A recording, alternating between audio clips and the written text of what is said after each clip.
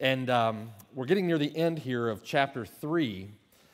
And uh, the title of tonight's sermon, Heirs of Promise. Heirs of Promise. Galatians 3, and it's verses 26 through 29. Galatians 3, verses 26 through 29. And let's read that together. Galatians 3, 26 through 29. And the Bible says, For you are all sons of God through faith in Christ Jesus. For as many of you as were baptized into Christ have put on Christ. There's neither Jew nor Greek, there's neither slave nor free, there's neither male nor female, for you are all one in Christ Jesus. And if you are Christ, then you are Abraham's seed and heirs according to the promise. Let's pray. Uh, Father in heaven, we praise you, Lord, for the promise that we have in Christ. Praise you and thank you, God, that you have fulfilled uh, your promises in Christ. And that, Lord, by faith, we can inherit those promises, that we can be fellow heirs with Christ. And what a glorious truth that is. So thank you, Lord, for this truth. Thank you uh, that you've given us that in Christ. And we pray, Lord, that even now as we study this passage, you'd help us to apply that reality to our Christian lives so we can live lives by faith, uh, trusting in your promises, God, trusting in you. And Lord, that we look forward to uh, one day inheriting the promise, being with you forever in heaven. What a glorious time that will be. So thank you, Lord, you give us a great, great hope in Christ. And we thank you, Lord. We love you and praise you in Jesus' name. Amen. All right. Well, we're uh, studying through Galatians, and now here, chapter 3, the end of the passage, the end of the chapter. And we're looking at heirs of promise, inheriting the promise through faith in Christ. And it's interesting how Galatians here in this passage is sort of dovetailing with what we've been studying on Sunday morning. Uh, we get really similar uh, teaching here, the book of Galatians and the book of Acts, especially in the, the area that we are in Acts and Acts 13, uh, follows really closely with what we're looking here uh, at Galatians 3. But so far in the book of Galatians, basically, if you have to boil it down and you just want to sort of summarize what's going on so far, Paul is basically setting up the point that either righteousness comes as a gift from God or it, man earns it by his own merit. It's one of the two. Either the righteousness that you need to be right before God, that you need to be to have right standing with God, that you need to inherit heaven, that righteousness is either a gift of God or it's earned through man's merit, earned through law keeping. And this entire time, he's setting up this contrast between law and faith. The promises that we know of God are received through faith. It is either going to be a view of works or it's going to be a view of faith. And that is the contrast that we see in world religion today. Christianity is the only religion that views the promises of God, views salvation, right standing with God, as being something that comes through faith and faith alone, as a grace of God, as a gift of God, Every other religion is through works, by keeping the law, by being good, so to speak.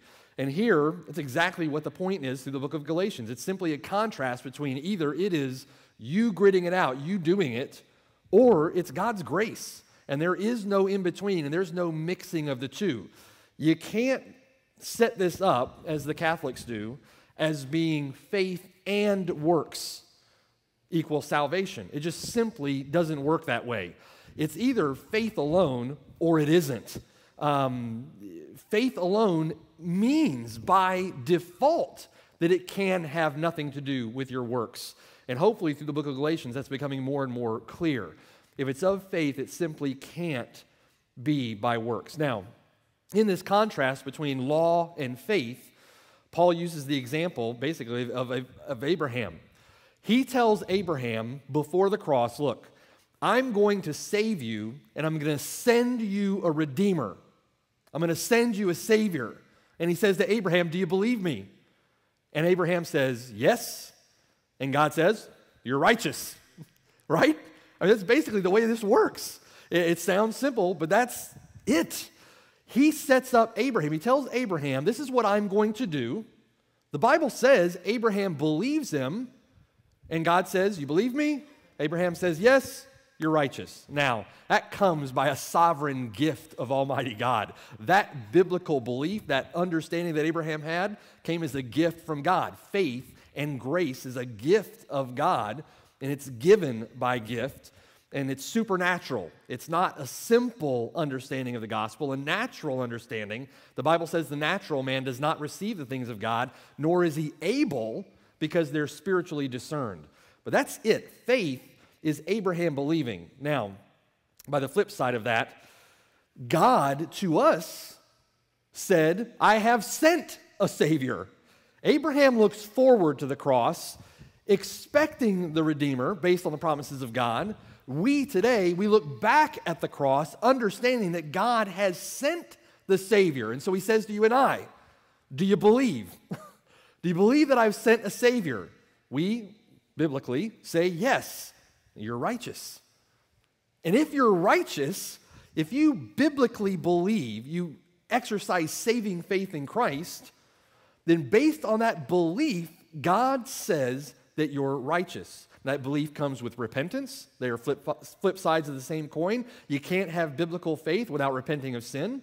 That belief comes with a, a heart and mind and soul supernatural understanding of the gospel that comes by gift of God. But it is that. He says, I've sent a redeemer.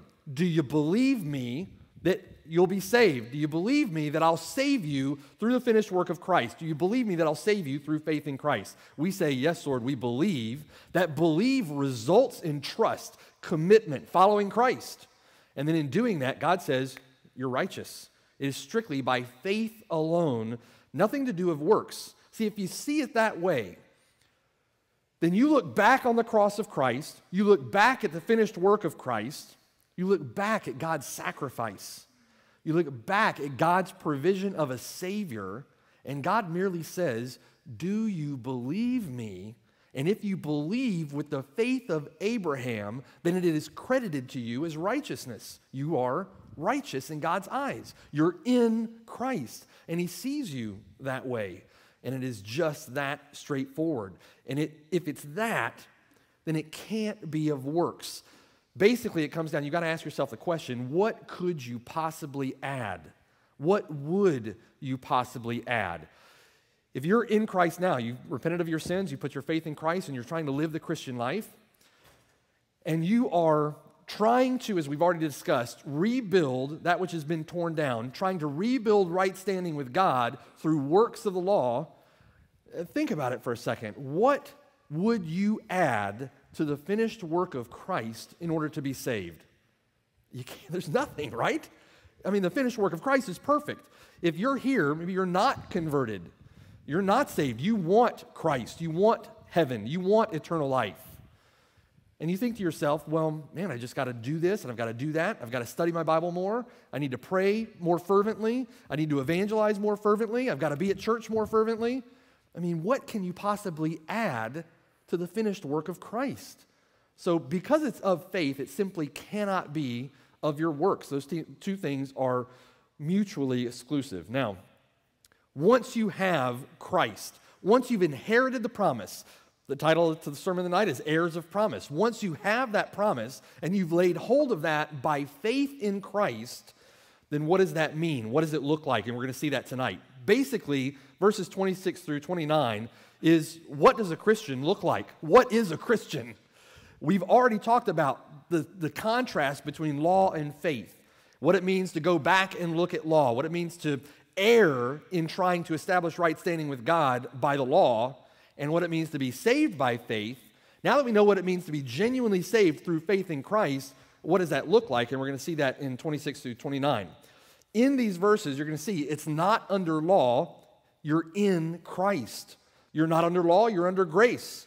You're not under bondage, you've been set free. You're free from condemnation, free from judgment, free from the law, free from the penalty and power of sin. You're free in Christ. You're not any longer under a tutor or a paidagogos. I don't know that we got there the last time we were looking at Galatians 3, but in the section just before this, um, he's talking about the law, it says in verse 24, was our tutor. That word there is paidagogos. It's a, a, a master, a disciplinarian. When kids were kids back in this time, they were given a tutor, someone who basically ruled over them. They taught them, but they had the power of the rod. And so when they got out of line, They'd beat them with the rod. They were a tutor, they were a disciplinarian. That's the way Paul here is describing the law. They were under this disciplinarian, the law, and the law would smack you with the rod when you got out of line. But now you're no longer under that tutor. You are free from that tutor in Christ. You're no longer under law. Um, now you're in Christ. Let me ask you a question. And this is a question we've asked before. We've talked about this before. You've got to continuously let this sink in. Are you still trying to live your Christian life under the tutor? Are you still living your Christian life in such a way that, I mean, if you're genuinely Christian, this is a, there's a fine line here. If you're genuinely saved by God, then this life that you live in the flesh is lived by faith in the Son of God. Galatians 2:20, we talked about that this morning. You live your life by faith in Christ, and by faith in Christ, you have the victory over sin, and you'll see progress. If you are sanctified, you're being sanctified. That's good assurance that you're genuinely saved. If you're not being sanctified, you can rest assured that you're not saved. Sanctification comes with salvation. But in this Christian life, if you are a genuine disciple, you can't go back and live your life like you were under the tutor, where every time you step out of line, you get the rod. There is no faith exercised in living the Christian life that way.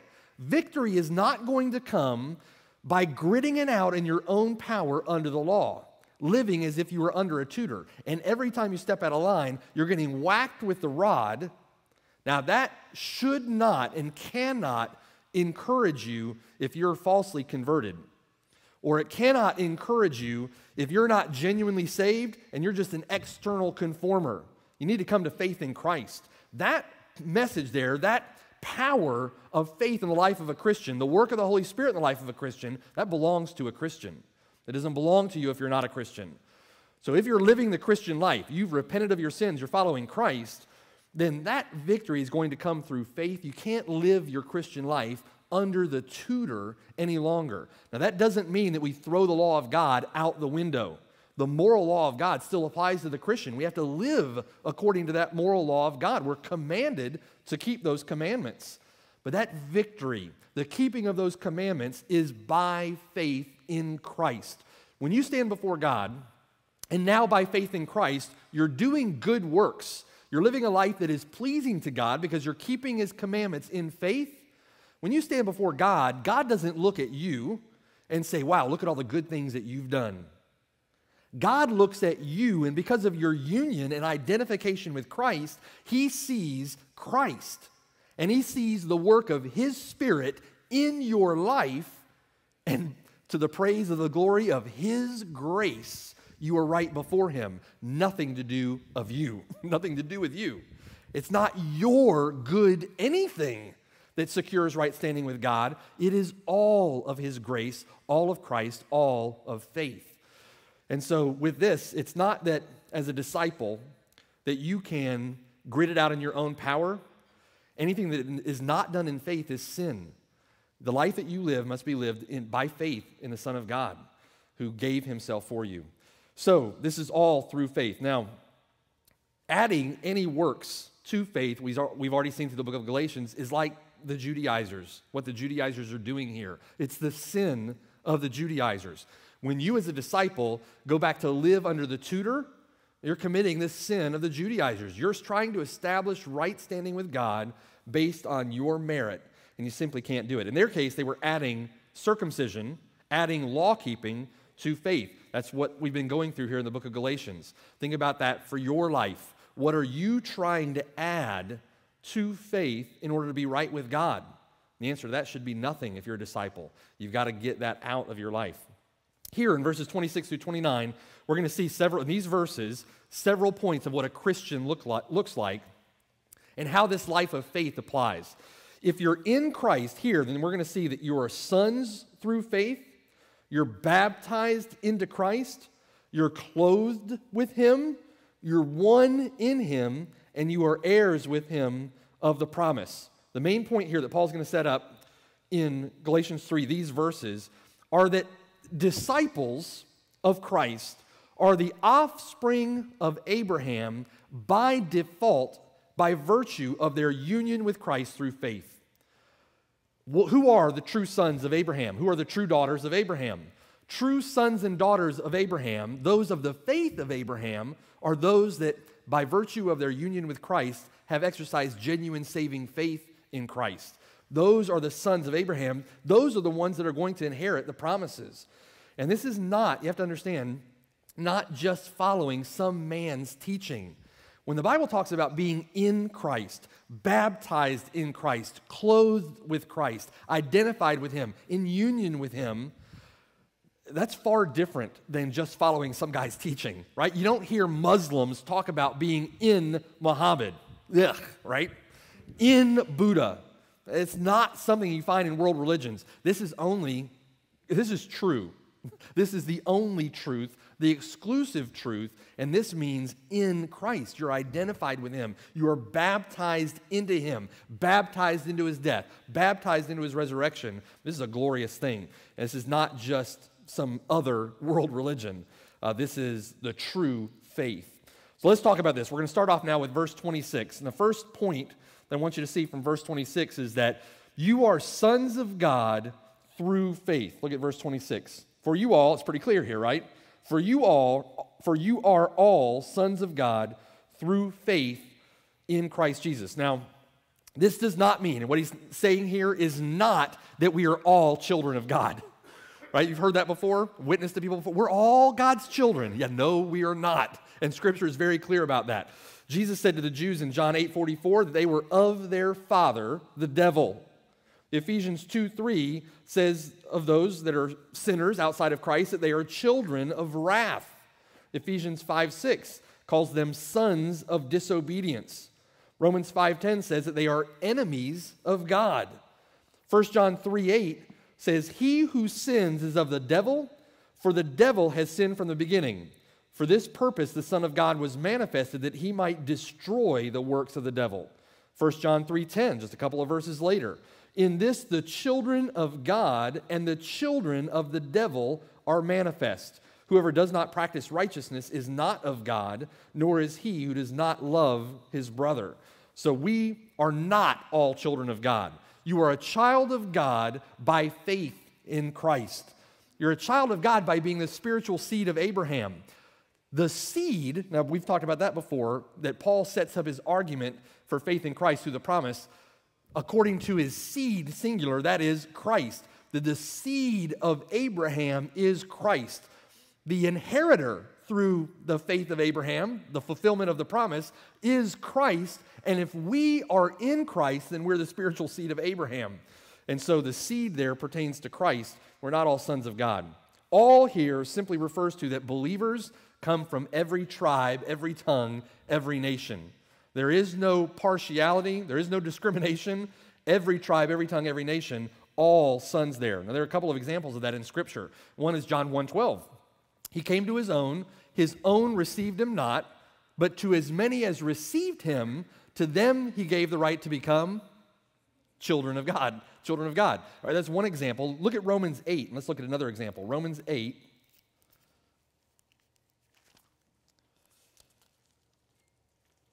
And look down starting in verse 12. This is Romans 8 12, speaking of sons of God. And this, is, this in and of itself is an awesome truth. To be considered a son of God, a child of God, adopted into his family. As we get into some of these other verses in uh, Galatians chapter 4, we're going to talk about adoption. There's a glorious doctrine in Scripture, the doctrine of adoption. And we're going to be able to look at that over the next couple of weeks. But here in John 8, starting in verse 12, or I'm sorry, Romans 8, verse 12, it says, Therefore, brethren, we are debtors, not to the flesh, to live according to the flesh. For if you live according to the flesh, you will die. But if by the Spirit you put to death the deeds of the body, you will live. Now, right off the bat, if you're a son of God, a child of God, you get the Spirit of God. And that is an awesome promise. It is impossible to please Him, impossible to live for Him, impossible to be a Christian without the Spirit of God. It's a glorious blessing. Verse 14 for as many as are led by the Spirit of God, these are the sons of God. So, one characteristic of being a son of God is that you're led by the Spirit of God. You have the Spirit and you're led by the Spirit. You're walking according to the Spirit, right? Verse 15 For you did not receive the spirit of bondage again to fear, but you received the spirit of adoption by whom we cry out, Abba, Father. The Spirit Himself bears witness with our spirit that we are children of God. Now, that's your spirit witnessing with His spirit. It's a the Lord working and teaching through His Word. You understand truth from His Word, and your spirit is like, Amen. And I want to follow Christ. It just charges you up. That's your spirit witnessing with His spirit that you're a child of God. My sheep hear my voice. You're not going to sit in a Mormon temple or a Jehovah's Witness or some Catholic service and hear some wicked Catholic theology about work salvation and say, Amen, I want to go out and work and grit and bear it and do more works. It's not going to happen. My sheep hear my voice. You're going to hear the truth of God. And if you are of Christ, if you have the Spirit of God, then your spirit witnesses with His Spirit that you're a child of God. And that happens by His Spirit through His Word. Um, look at uh, the end of that uh, chapter. And if children, verse 17, then heirs, heirs of God and joint heirs with Christ, if indeed we suffer with him, that we may also be glorified together. It's an awesome thought to be a child of God. You're going to suffer with him. But if you suffer with him, you'll also be glorified with him. That's an awesome thought, too. One day glorified uh, in heaven forever with Christ. Another example of this is in Hebrews 2. This is awesome too. I love this passage of Scripture. Hebrews 2. Same kind of concept here. Hebrews 2. And look at this. Verse 10. Hebrews 2, verse 10. For it was fitting for him, for whom are all things, and by whom are all things, in bringing many sons to glory it was fitting for him to make the captain of their salvation perfect through sufferings. For both he who sanctifies and those who are being sanctified are all of one, for which reason he is not ashamed to call them brethren. That's an awesome thought. Saying, verse 12, I'll declare your name to my brethren in the midst of the assembly. I'll sing praise to you. And again, I'll put my trust in him. And again, here I am in the children whom God has given me. Verse 14 Inasmuch then as the children have partaken of flesh and blood, he himself likewise shared in the same, that through death he might destroy him who had the power of death, that is the devil, and release those who through fear of death were all their lifetime subject to bondage. No longer in bondage, you're in Christ. Amen. For indeed, he does not give aid to angels, but he does give aid to the seed of Abraham. Therefore, in all things, he had to be made like his brethren, that he might be a merciful and faithful high priest in things pertaining to God to make propitiation for the sins of the people. That propitiation there is a wrath satisfying sacrifice. It satisfies the wrath penalty of God. For in that he himself has suffered being tempted, he is able to aid those who are tempted. Not ashamed to call us brethren. When you're in Christ, you're son of God, a child of God we have Christ, and Christ is not ashamed to call us brethren. So that's verse 26. But now look at verse back in, um, in Galatians 3, look at verse 27. And the next point on your notes here is that you are in Christ through faith. Point one, you're sons of God through faith. Point two, you're in Christ through faith. And verse 27 says, For as many of you as were baptized into Christ have put on Christ. Now, before you were baptized into Christ, you were clothed in old Adam, right? And you know the difference. If you've been genuinely converted, you were once clothed in Adam. When you come to Christ, you're clothed in Christ. I mean, when the Bible says examine yourself, whether you're in the faith, that shouldn't take you a long time to come to that determination. You're either going to be clothed in Adam or you're clothed in Christ. And there is a, a big difference. Unless you have just completely deceived yourself. You've got yourself so caught up that, yes, I'm in Christ, and your life just simply doesn't match up and you don't see it. Otherwise, it's very clear. When you come to Christ, you're putting on the new man. You become, you start looking like Christ. Uh, your life starts to become identified with Christ. We'll see that in a moment. Now, here in verse 27, what he's not talking about is he's not talking about water baptism. Okay, especially in the letter to the Galatians, he's not saying that water baptism is necessary for salvation. He's not talking about that. And if you think about it, here's a good example or a way to think about it, especially if you're talking to someone that's coming out of the Church of Christ movement or something like that, someone that teaches baptismal regeneration, Catholicism again, is that here we've got the Judaizers who are trying to add works of the law to salvation. They're trying to add circumcision to salvation. Now, we've got two covenants at play here that are sort of in transition the Old Covenant the New Covenant. What was the sign of the Old Covenant? Circumcision, right? Circumcision was the sign of the Old Covenant. Here, Paul is saying that if you try to add the sign of the Old Covenant to salvation, which has been the same from eternity past to eternity future, all through faith in Christ, if you tried to add the sign of the old covenant to salvation, you're to be accursed. If anyone comes to you preaching any other gospel, even if we or an angel from heaven preaches another gospel to you, which is really not another, that person's to be accursed, right? But now, what is the sign or symbol of the new covenant? Baptism. Baptism. Certainly, if you can't add the sign of the old covenant to salvation, well, the last place you're going to teach that you're going to add the new sign of the covenant, the new symbol of the new covenant to salvation is going to be in the book of Galatians. In the same way that you're anathema for adding circumcision to salvation, the sign of the old covenant, you are anathema for adding the symbol or sign of the new covenant to salvation. It is always and only by faith alone in Christ alone. And so here it's certainly not talking about water baptism, it, it cannot be. Faith appropriates, your faith in Christ appropriates what baptism symbolizes. Baptism symbolizes your death and burial with Christ, uh, rising to walk in newness of life. These are simply just initiation rites, and they're important. Baptism is so important that oftentimes in Scripture you see it closely associated with conversion because it's something that God says you're going to do if you're genuinely saved. Repent and be converted that your sins may be blotted out. Repent and be baptized, all of you, for the remission of your sins. He's not saying be baptized so that you can have your sins forgiven. Baptism is a closely related symbol of an inward reality. But here, it's not teaching salvation by water baptism. We want to make that clear. And you'll get folks that will use this passage of Scripture to argue for that. Uh, here, what it's referring to is identification with Christ. And another parallel passage of this is Romans 6. Look at Romans 6 for a second. It's just identification with Christ. In Romans 6,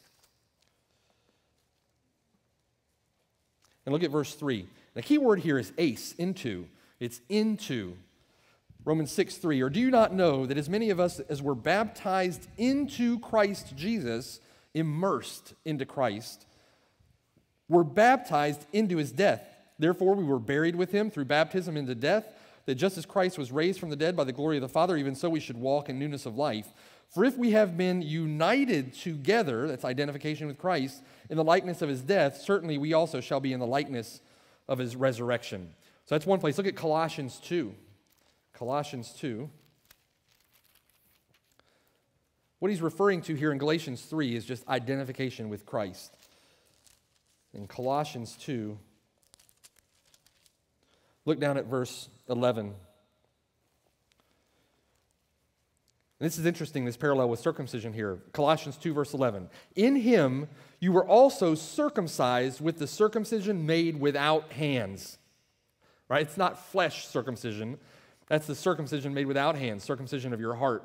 By putting off the body of the sins of flesh by the circumcision of Christ, buried with him in baptism, in which you also were raised with him through faith in the working of God who raised him from the dead. And you being dead in your trespasses and the, uncircumcision of your flesh, he is made alive together with him, having forgiven all your uh, forgiven you all trespasses. That's awesome. Having wiped out the handwriting of requirements that was against us, which was contrary to us, and he has taken it out of the way, having nailed it to the cross. Now, heard that said multiple times, used multiple times to say, listen, you don't have to keep the moral law of God. You don't even have to try. He has taken that thing out of the way and nailed it to the cross. That is a misunderstanding of this passage of Scripture. You are no longer under law as a system for salvation any longer. You are under grace. It's not that you're going to, in Adam, strive to keep the law and have to keep the law perfectly in order to be right with God. You can't do it. You're no longer, no longer under law, under the condemnation of the law. Now you're over here under grace. By grace, you've been saved through faith. And so that's not saying that you can just abandon obedience to God's commands. Uh, if you're going to be saved, if you're going to be a disciple of Christ, then you have been clothed in Christ. You've been baptized into Christ. Now you're identified with Him. And in your identification with Christ, you are dead to sin. And you can sin no longer. How can we who have died to sin live any longer in it? Paul asks. And so you, are going to start looking like Jesus Christ. You're going to be sanctified. You're going to be purified. You're going to have your sin, you're going to have victory over sin, okay? This clothed with Christ, this baptism in Christ, this is the way this works identification with Christ. When God sees the sinful believer, he sees his sinless son. He sees you so closely associated with Christ that he doesn't see the sin of the believer in that sense. He sees his sinless son, and you identified with him. You become clothed with Christ. But then, clothed with Christ, you start putting on the new man. Romans 13, 14 says, But put on the Lord Jesus Christ. You see that comparison there, that analogy to being clothed in Christ? Put on the Lord Jesus Christ and make no provision for the flesh to fulfill its lusts. In other words, you cannot be clothed with Christ and make provision for the flesh to fulfill its lusts. When you put on Christ, you put on the new man, you're clothed in Christ, baptized into Christ, you don't make provision for the flesh to fulfill its lusts. You strive to get rid of that thing. You strive to get rid of sin. Philippians 2 14 says, Do all things without complaining and disputing, that you may become blameless and harmless, children of God without fault in the midst of a crooked and perverse generation among whom you shine as lights in the world. Now, here's another part of being clothed with Christ. Verse 16 says, Holding fast the word of life, so that I may rejoice in the day of Christ, that I have not run in vain or labored in vain. So once you are clothed in Christ, you're never going to be naked again. once you're clothed in Christ, you hold fast the word of life. You persevere in the faith. Once clothed in Christ, there's no turning back. You are now transferred into the kingdom of his dear son, a son of God, adopted into his family, and there simply is no going back. And you wouldn't want to, right? There's no going back. You're following Christ. Uh, you'll never be naked again. But now go back to um, Galatians 3. And point three I want you to see from this is that you are one in Christ now through faith. So back in Galatians 3, and look at verse 28. Verse 28. Now, verse 26, you're all sons of God through faith. Verse 27, you were baptized into Christ, you've put on Christ, you are in Christ through faith. Verse 28, there is neither Jew nor Greek, there is neither slave nor free, there is neither male nor female, for you are all one in Christ Jesus. So you're all one in Christ through faith. Now, here it's interesting to see, he's not calling them to be all one. He's not saying you are to be all one. He says you are all one. Right? And then in Ephesians 4, when he commands Christians to labor to maintain unity of the Spirit and the bond of peace, you're to maintain what's already true. you're to maintain what's already been given. If you're in Christ, you're all one in Christ because he says that we are. Uh, but there's always something, and this is a constant problem, there's always something in our flesh that prompts us to want to be superior to someone else.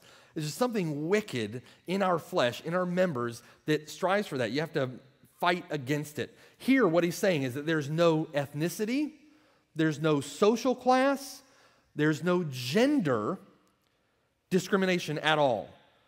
Those three things, ethnicity, social class, and gender, are completely irrelevant in determining who is and who isn't a child of God who is or isn't a true son or daughter of Abraham. They're simply irrelevant. There's to be no discrimination. Those walls of separation are completely broken down. We've been talking about this through the book of Acts, and we saw that example of Peter with Cornelius. And he says, after the vision, I can truly see there is no partiality with God, right? There's to be no discrimination. Um, those discriminations, that wall has been broken down completely. We see that with the leaders in Acts 13 just a couple of weeks ago when we looked at the diversity of leadership in the church in Antioch and just the, the, the class, uh, the, the social status, the ethnicity. Those were all things that were completely out of the way. There's simply no more, um, no more partiality, no more discrimination there. Uh, a good example of this is Philemon. And Philemon and his slave Onesimus, and how he was to be treated, and how Paul wrote to him. It's just a good example of this in Scripture. Um, turn to James 2, and let's look at this a little more closely. James 2, Hebrews, James.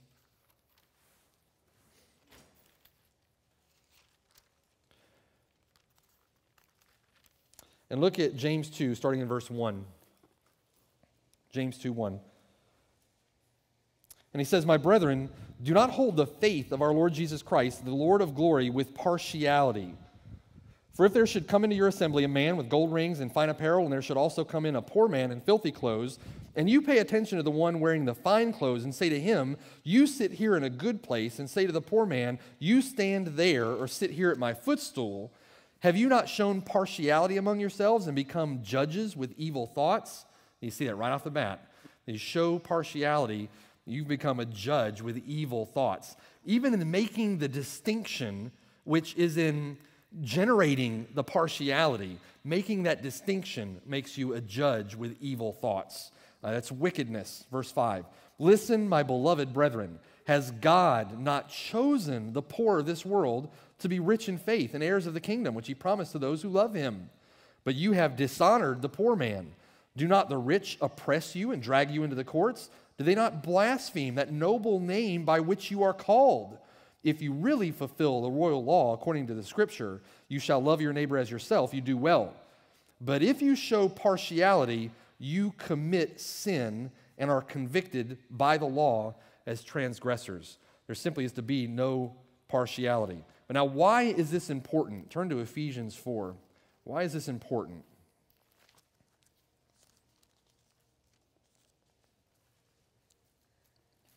And what's the point here? Ephesians 4. Look in verse 1.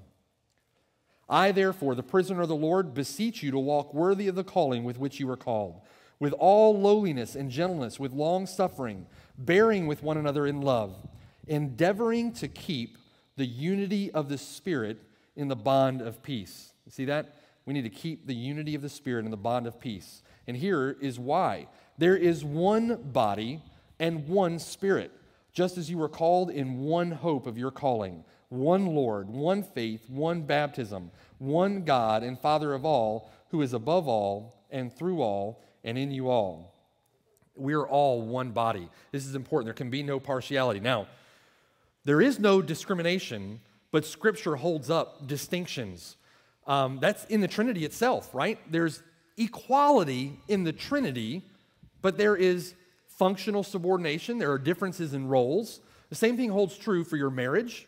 You and your spouse are functionally equal in God's eyes, spiritually equal, functionally distinct in your roles. God gives you different roles to fulfill. Now, in our society, we have a problem with that. That strips gears in people's heads. How can you be equal but different?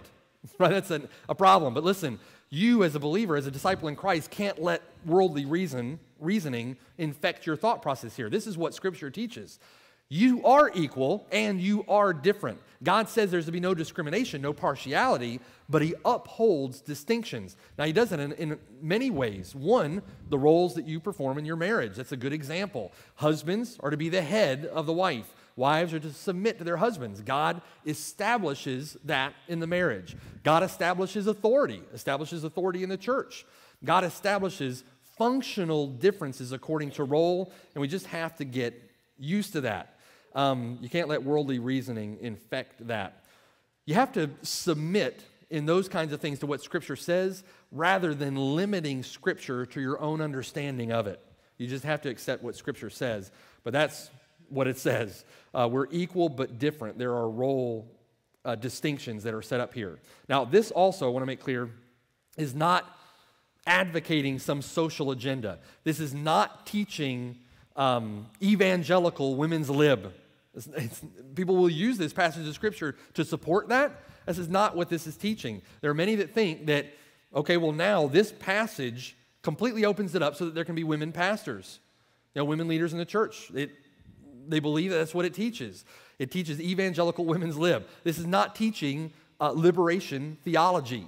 You see that the, the poor and oppressed, uh, it's simply not teaching that authority, but or uh, that theology. But a lot of folks twist it to mean that. It simply means that we are equal spiritually in Christ. We're one body, one faith, one baptism, one spirit. We're all of one. You're one in Christ Jesus uh, through faith. And we're not to show uh, partiality. Now, this is exemplified well in the New Testament through fellowship. When we're looking through Acts and studying through those sections of Scripture, where as soon as that wall of separation came down, they started fellowshipping together. They started eating together. They were in a Gentile's house, eating Gentile food, fellowshipping with Gentiles. That's what that means. There's to be unity, warm Christian fellowship, and that's exemplified in Scripture by sharing a table together, breaking bread together. Uh, there's to be that kind of fellowship, that kind of love. John 13, 34 and 35, uh, the Bible says, A new commandment I give to you, that you love one another, as I have loved you, that you also love one another. By this, all will know that you are my disciples if you have love one for another. If you're showing partiality, if you're discriminating, and praise the Lord, we don't see that in this church. Uh, we just don't see it. This church is a diverse, loving body of believers, and I'm so grateful to God for that. Just an awesome blessing. Uh, it's a great blessing. It's a rare thing these days. Even now, it's, can you believe it? Even now, that's a rare thing. As far as we think we've come, uh, in church, they call church the most segregated time of the week, Sunday morning. it's ridiculous. There's just, there's not to be that. And when you show partiality, that sin, uh, we are to demonstrate our love for one another by not doing that. Uh, if you show partiality, you're not loving, you're hating your brother. There's to be no partiality. Uh, by this, all will know that you're my disciples if you have love for one another. Somebody comes in here, that's often said it's a common statement that, wow, this looks like a, a genuine Bible believing church because look at the diversity in this place. That's an awesome blessing. And we love our brothers, we love our sisters, all right? Um, this is important because God has established authority. And so it's important to make that distinction. We are equal in Christ, but functionally different in roles, and we have to maintain that. But that also doesn't eliminate giftedness. That's seen in the gifts that God gives. Some men are gifted, some ladies are gifted in one way, other men, other ladies are gifted in another way. God distributes gifts to each as the body has need. Some, some are a hand, some are a foot, right? Some are a belly button, some are a right ear, some are a left ear. Uh, God gives gifts based on the needs of the body, and that should give us great joy to implement our gifts according to the need of the body, right? If, if if God gives you a gift, that's God's gift to you. I mean, that's, you should cherish that. You should implement that in service to God's body, in service to the church, uh, for the benefit of your brother, uh, to see souls saved, uh, for the furtherance of his kingdom. That should give you great joy. God gifted you in that way. But to, again, going back to this issue of showing partiality, if you are jealous or envious of your brother for a gift your brother has, Again, that's showing partiality. That's discriminating. That's not loving your brother. That's not the spirit that we should have. That's sin. Uh, we're not to be that way. God grants gifts, and it's God who is the gift giver. It's God that is the originator and the source of the gift. And so, one person gifted in one way, another person gifted in another way. Praise be to God. And there's just no partiality. Uh, it's just no partiality. Uh, it all comes from God. The person that has that gift, if they're in Christ, in no way should be boastful about that. Is it uh, 1 Corinthians 4 that says, You act as if though you've received nothing, but everything you have, you've received. So why do you boast? Why would you boast in that? That is the grace of God. It's the mercy of God. It's, and as soon as God gives it, God can take it away and turn your pride on your head. Uh, you can't be that way. But now the truth of the matter is, is that God establishes giftedness in the church. And so you're to establish and use your gifts. And those that are serving in the church should serve according to their giftedness and not overreach that. Serve according to your giftedness, and that's what's important. All right, but now, point three on your notes, back in Galatians. Point three, in verse 29, we are heirs of the promise through faith. Now, we've seen we are sons through faith, we're in Christ through faith, we're all one in Christ through faith, but here in point three, we're heirs of promise through faith. And that's in verse 29. And if you are Christ, then you are Abraham's seed and heirs according to the promise. Now, this is a glorious truth. We praise God for it. Romans 8 17 says, And if children, then heirs. If you're a child of God, a son of God, then you are an heir, an heir of God, and joint heirs with Christ, if indeed we suffer with him, that we may also be glorified together. Look at Romans 4. Romans 4, and let's take another look at this. Romans 4. And look down beginning in verse 13. Romans 4, down in 13. Now, this promise is awesome. We talked about this this morning uh, that you are you inherit the promise, you are heirs of the promise through faith in Christ. And look at Romans 4, down in verse 13. For the promise that he would be an heir of the world was not to Abraham or to, or to his seed through the law, but through the righteousness of faith. The righteousness of Christ imputed to you, given to you, credited to you through faith, through genuine saving faith. Verse 14 For if those who are of the law are heirs, faith is made void and the promise made of no effect. Because the, the law brings about wrath, for where there is no law, there is no transgression. Therefore, verse 16, it is of faith that it might be according to grace, so that the promise might be sure. And we looked at this this morning that in order for the promise to be steadfast, sure, uh, it had to be based in God, in Christ alone. Otherwise, if it's based in you, it's not sure. But it, it had to be of faith that it might be according to grace, so that the promise might be sure to all the seed, not only to those who are of the law, but also to those who are of the faith of Abraham, who is the father of us all. As it is written, I have made you a father of many nations, in the presence of him whom he believed, God, who gives life to the dead and calls those things which do not exist as though they did who, contrary to hope, in hope believed, so that he became the father of many nations, according to what was spoken, so shall your descendants be.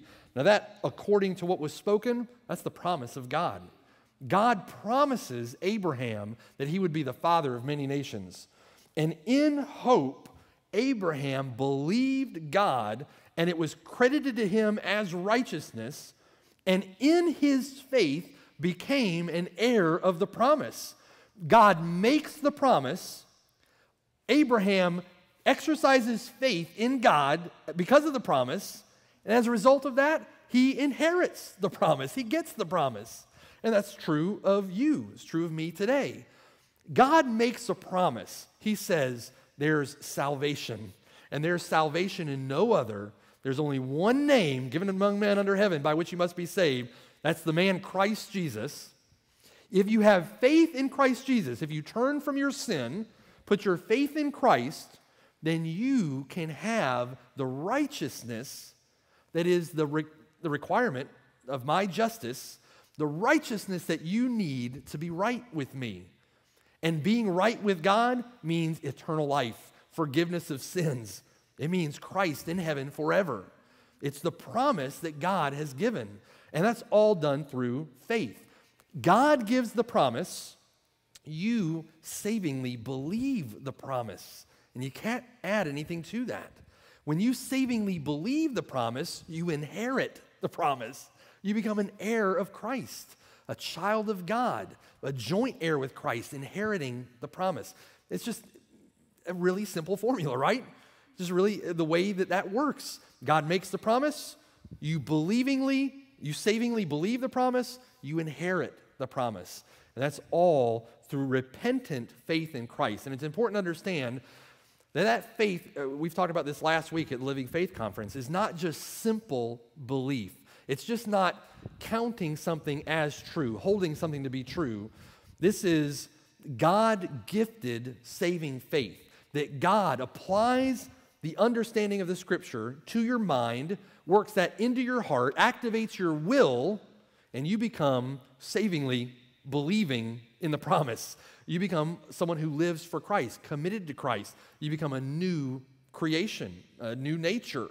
And that inheritance only comes through faith in Christ. I saw this quote. It was interesting, and it sort of sums up what's going on here in the book of Galatians. And the quote goes like this We cannot come to Christ to be justified, that means, that means made right with God. We cannot come to Christ to be justified until we have first been to Moses to be condemned. But once we have gone to Moses and acknowledged our sin, guilt, and condemnation, we must not stay there. We must let Moses send us to Christ. That's the issue. You can't be justified until you go to Moses to get condemned. And when you're condemned by Moses and you acknowledge your sin, guilt, and condemnation, you can't stay there. If you're a disciple of Christ and you're clinging to the promises of God by faith, and you're clinging to hope in Christ for victory over sin, to live the Christian life, you're clinging to Christ for hope of eternal salvation, a clear conscience, forgiveness, and you're doing all that by faith in God, you can't stay with Moses. Moses has to. You can't stay there. You can't live the Christian life there. You can't walk in the Spirit there. You can't be there. You have to let Moses send you to Christ, and you abandon that to live wholeheartedly for Christ. And in Christ, faith has the victory over sin. You have God's Spirit indwelling you to give you the power to live the Christian life. It only comes through faith in Christ. When you come to faith in Christ that way, you inherit the promise of God, and it's an awesome inheritance, right? It only happens by faith. This passage here is setting up that contrast. It's a summary to what has gone on before, and now, finally, at the end of chapter 3, we see what a genuine Christian now looks like this contrast of law and faith. And now, here, what does a Christian look like? You are all sons of God. You're all one in Christ. You're in Christ and you're heirs of the promise. All of that through faith. And then now in chapter 4, if you're an heir and you're a child, then we're going to look at adoption and what it means to be in the family of God, what it means to have God as your father. The access that you have to the Father by faith is an awesome and glorious thing in the Christian life. It's that access to the Father by faith in Christ that gives you the power to live the Christian life. And we're going to talk about that more next week. Let's pray. Father in heaven, Lord God, uh, thank you for this great salvation. I'm just constantly, Lord, in awe of it. Uh, just constantly, uh, Lord, seeing just how multifaceted it is and how awesome it is, Lord, and how gracious and merciful you are uh, in providing this for us through your Son and through his work on the cross, Lord. And just thank you, Lord, for this. And I pray, God, as we continue to work through the book of Galatians, Lord, this letter, uh, that you would help us to see just the utter futility of the law to inherit the promise, the law to do anything to please you, Lord, but that it must be done through faith in Christ. And Lord, help us to, to understand that faith, Lord, to grasp it uh, in all its depth and all its richness, apply that to our hearts so that we can live victoriously in Christ, uh, overcome sin. Uh, we know, Lord God, that we are, even as Christians, Lord, even as disciples of Christ, that we, we, God, we want to obey your law. We want to live by your commandments. We want to live wholeheartedly for you. And you've said in your word, He who says, I know him, but does not keep his commandments is a liar, and the truth is not in him. And we know that, Lord. We know that Obedience to your commands is a fruit, is an evidence of genuine saving faith. And so, Lord, we know also that that comes through faith in Christ and how important it is, Lord, that we walk according to faith, uh, walk according to your spirit, live according to your spirit, putting to death the deeds of the body. Help us to do that, Lord. We just see in this letter uh, great promise, great hope, great strength, Lord, in the faith that you have provided through Christ. So help us to live that life. Lord, we want to be pleasing to you. You are our Lord, our God. And we are so thankful, Lord, to be children, sons of God by faith in Christ, heirs of the promise. Just what an awesome thought. So thank you, Lord. We love you and just take great joy in seeing you exalted, seeing Christ magnified, uh, seeing your gifted grace and faith being lifted up. Lord, it's just a, a glorious thing in our sight. So thank you, Lord. Thank you for these brothers and sisters, and thank you for our fellowship together, Lord, in this oneness that you have given us. Uh, Lord, this unity, this peace. Uh, it is a wonderful thing, and we just thank you for that blessing. All these things we pray in the blessed name of our Lord and Savior Jesus Christ. Amen.